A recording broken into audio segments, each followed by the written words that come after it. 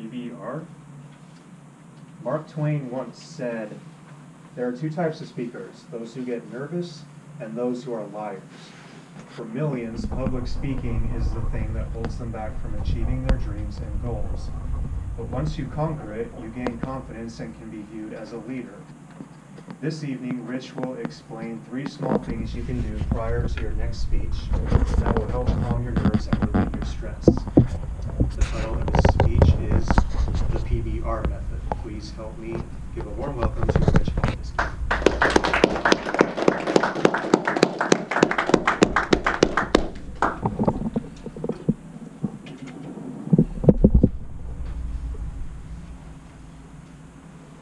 What do you feel like right before you're about to give a speech? You know that feeling deep inside as you sit, waiting to be introduced? If you're anything like me, you feel nervous, stressed, and anxious. In fact, let me read a couple comments that I got after my first speech at Toastmasters three years ago. Matt wrote to me and said, Rich, you seemed extremely nervous up there. Next time, bring a towel to wipe the sweat off your face. Thank you, Matt. Don't leave home without it. Norm wrote to me and said, Rich, you didn't come across as that confident. I bet you don't wear the pants in your family. Thank you, Norm. Those pants still don't fit.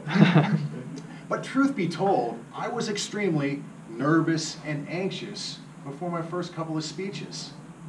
We all seem to get that same anxious feeling right before our biggest challenges in life. Like before a job interview, before a big test, before a presentation at work. Or how about, guys, right before you're about to ask that beautiful girl over there out on a date? Hey, babe. How you doing? Meet me tonight at Pechanga at 8. Don't be late. Ladies and gentlemen, instead of feeling powerless, by a show of hands, how many people in here would like to feel powerful right before your biggest challenge in life? Excellent. This evening, you will learn three ways to erase stress from your life, especially right before speech. I present to you the PBR way. The first way is P, which stands for posture. Now, do you smile, then you get happy? Or do you get happy first, and then you smile? Do you frown, and then get angry? Or do you get angry first, and then you frown? Amy Cuddy is a social psychologist, a former Harvard professor, and the author of the best selling book, Presence. Now, she argues that our nonverbals dictate the way we think and feel about ourselves. Our body controls our mind.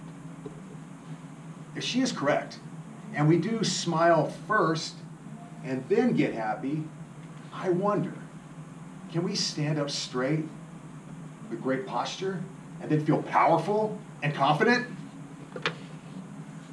Before my first couple of speeches at Toastmasters, as I sat waiting to be introduced, I would often find myself with bad posture, hunching over.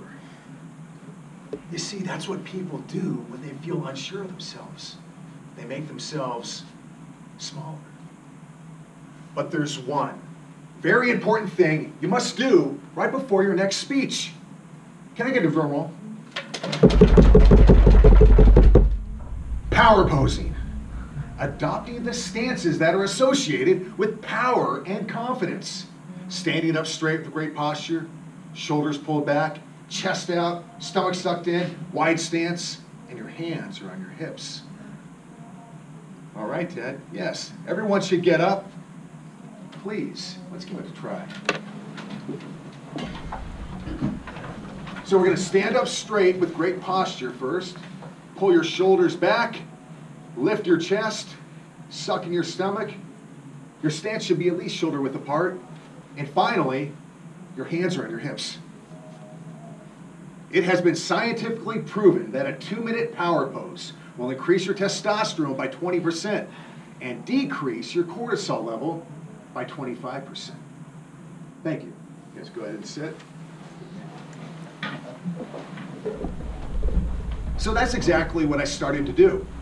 About five minutes before my speech, I would get up. I would go to the bathroom. Then I would lock the door. I would look at myself in the mirror, and then I would strike a power pose. And I would do it for two minutes. Then I feel that kind of surge, a test running through my body. Then I knew I'd be ready to come out and rock that stage.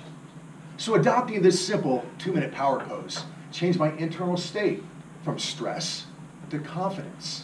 Adopting this simple two-minute power pose turned my stage fright into stage presence. The second way is B, which stands for breathing. You have the ability to erase stress from your life by simply controlling the way you breathe. Have you ever noticed the way you breathe when you feel stressed, nervous, or anxious? You breathe way too fast, too shallow. On the other hand, have you noticed the way you breathe when you feel safe, calm, and confident? You will notice you breathe much slower and more consistent. Your brain has learned to associate fast, quick breathing with stress and slow, rhythmic breathing, called belly breathing, with safety and confidence. Before my first couple speeches here at Toastmasters, as I sat waiting to be introduced, I would often find myself with that posture, and I would also be breathing way too fast. But then I started to take deep belly breaths. I would inhale through my nose, push my stomach or diaphragm out, then exhale through my mouth. Pull my stomach back in. So if you sit up straight in your chair and put your hand on your stomach, close your mouth, now inhale through your nose, push your stomach out like you're blowing up a small balloon. Now exhale through your mouth. Then pull your stomach in. I use the 16 second breath throughout the day now, where I inhale for four seconds, I hold it for four seconds, I exhale for four seconds, and then I hold it again for four seconds. Then I repeat the process. Adopting that simple breathing technique, it turned my internal state from stress to a more calm, controlled confidence. Adopting that simple breathing technique turned my stage fright into a stage presence. The third and final way is R. What makes us suffer in life, I believe, is our thoughts. According to Tony Robbins, in order to have a successful, blissful life, you must learn to find the beauty in everything that happens to you, especially the bad times. You have the ability to reframe everything in your life as a positive. It's a conscious choice that I make each and every day because I choose how I interpret the world around me and all the experiences that I have. I tend to see challenges as exciting and an opportunity for growth. You can become a more bolder, a more effective, and a more confident version of yourself by reframing stress